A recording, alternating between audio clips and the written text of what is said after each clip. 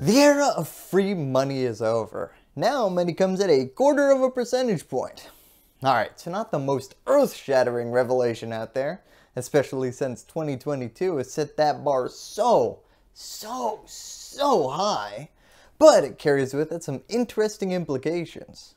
Federal Reserve governors are each their own unique little snowflakes responding to economic situations differently.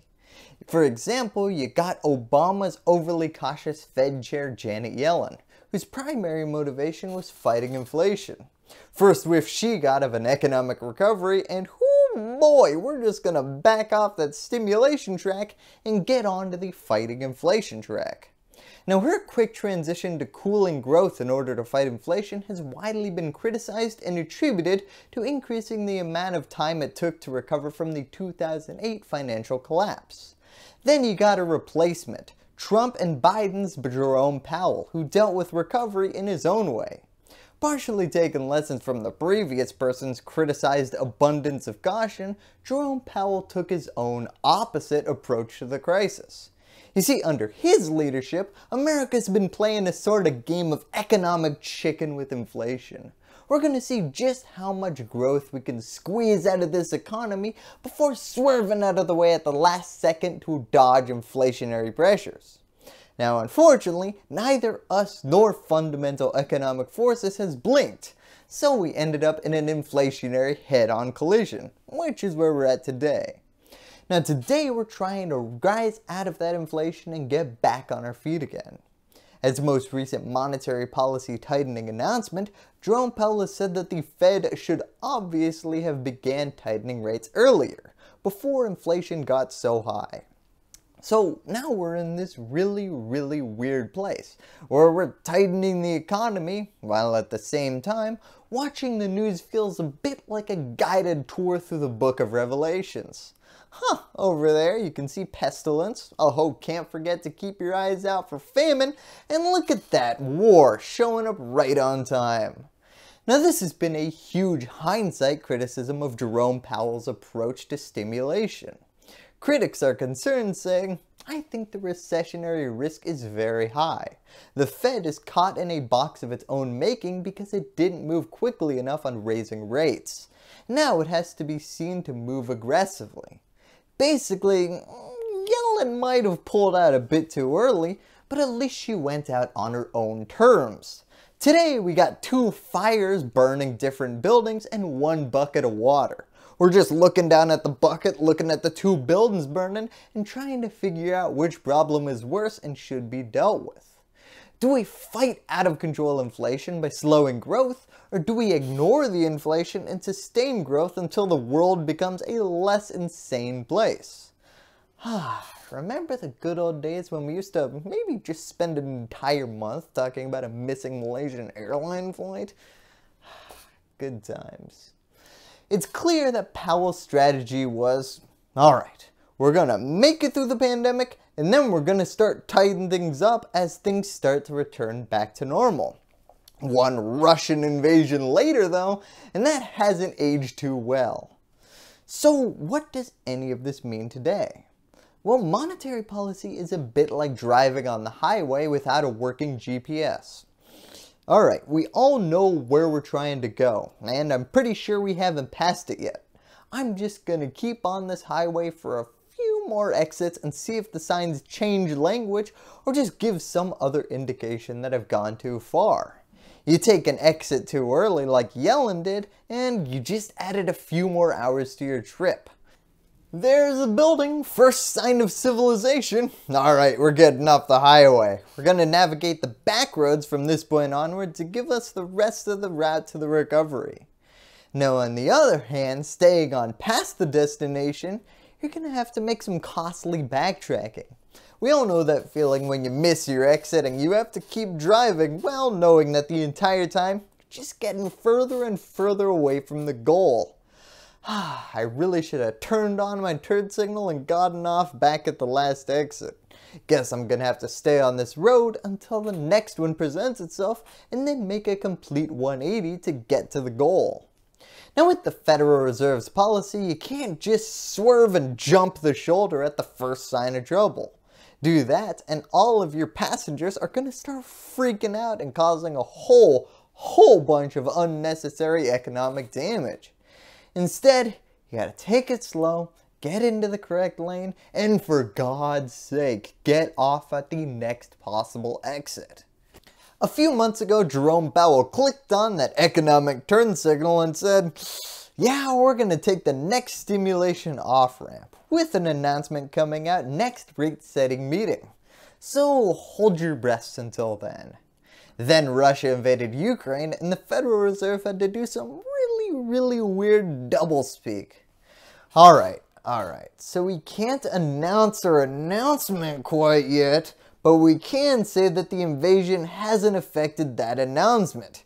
We got our turn signal on and we're in the correct lane now. It's gonna take a lot more than trying to re-establish the Soviet Union to make us turn our focus back on encouraging growth and investment instead of fighting inflation. So this all leads us to the pinnacle the story has been building up to from this episode's beginning, the announcement itself. Now there was a pretty substantial argument behind the scenes, not about whether to tighten monetary policy or not, that ship had definitely sailed, but rather how much should we be tightening monetary policy by? Federal Reserve hawks were arguing that half a percentage point increase should really start putting inflation into its place. Now, for those of you not in the know, half a percentage point might not sound like much, but in terms of Federal Reserve policy, that's the most extreme policy on the table. wow, half a percent. Now the other group was advocating for half of that, a quarter of a percentage point increase. Conservatives. For a while there, it seemed like we were going to get that half a percentage point bump in the rates, but with the world suddenly burning down all around us, the Federal Reserve went with the more conservative option. Now this cautious monetary policy tightening actually triggered a huge surge in the stock market because investors, well they were pricing in and bracing themselves for that larger, more radical rate hike. Now a final piece to this puzzle that doesn't get enough attention in the media these days are the actual numbers that Jerome Powell had in front of him when he was making these decisions. Super low unemployment 3.5% to be precise, solid growth numbers, and banks that have enough in reserve to cover the collapse of any major systemically important organization, should one actually collapse. Jerome Powell looked at all this and he emphasized that as far as the numbers go, the ones that you would be considering when pushing for growth over inflation fighting, well they're all looking incredibly good right now. The pitch was basically, yeah, we should be transitioning to aggressively fighting inflation because everything else, on paper at least, is doing really, really well, and inflation is a flashing red light on our dashboard. Of course, this could all end up being the embodiment of the this is fine meme. Now in the end, what we're looking at is the question of whether the economy can withstand rising rates during a period of geopolitical turmoil and a lingering pandemic. Now unfortunately, this is a question without an immediate answer.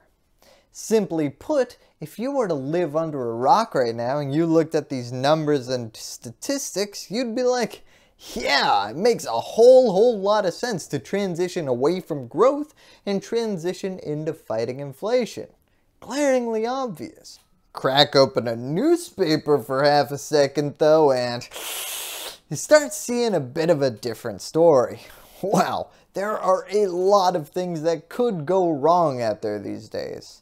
Starting to tighten your monetary policy at a time like this is kind of like popping your airbags before you hit the road maybe, hopefully, everything's gonna go fine. But if something goes wrong, its negative impact is gonna be magnified. The stock market in the past few years has been able to shrug off some cataclysmic events. New variants? Yeah, call me when the Federal Reserve cuts off our money. So this is the weird world that we find ourselves in today, where the Federal Reserve is being forced to prioritize anti-inflationary actions over pro-growth actions, leading to more uncertainty and bigger downside risks in the market. time will tell if this is a good move or not. And also, before we go, look out because it looks like that radical half a percentage point bump might be coming down the pipe. Turn signal? Well, it's on. Thank you, and that's all I have to say about that. Now, before I go go into the outro, I have to apologize for being a bit slower than normal at putting out fresh content. You see, my boss just went on vacation for an entire month and he left me taking charge of a lot of new tasks. Now it will just be a month and then I'll be back to normal. But the same day he left, our factories in China emailed us saying that they had locked down due to Omicron. And wow, he certainly dodged that bullet when he gave me that task. So, um, basically, yeah, I'm trying to get everything done. I was working till like 11 at night for him, and then writing this after that. So, uh, I'm gonna keep trying to put things out, but whew, it's a little bit rough. Thank you, and that's all I have to say about that. Hello YouTube, I'd like to thank my patrons for helping me put out my videos. If you want to support independent, nonpartisan news looking into the overlooked, join this growing list of exceptional individuals by clicking on that link in the description. Also remember to subscribe and ring that bell so that freedom will continue to ring. If you like what you saw, give me a thumbs up. And lastly, as always, thank you for watching.